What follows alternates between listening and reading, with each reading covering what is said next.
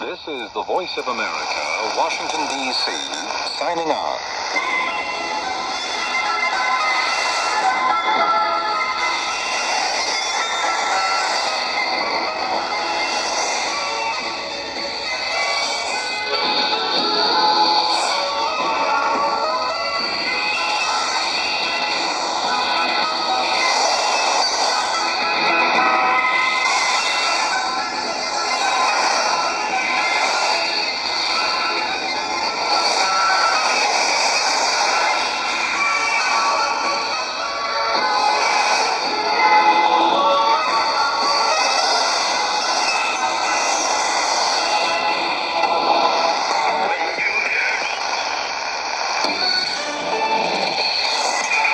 This is. The Republic American.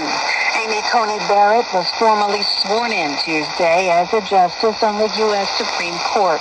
Chief Justice John Roberts administered the oath to the former federal appellate judge, who was confirmed by the U.S. Senate in a 52 to 48 vote late on Monday. Republican Senator Susan Collins of Maine joined the entire